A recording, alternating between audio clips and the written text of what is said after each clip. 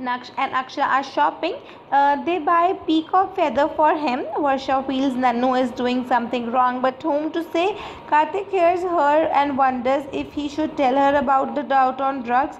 He will. I will talk to Aksha and Naira first. Thank you for watching the video. If you like it, give a thumbs up and subscribe the channel.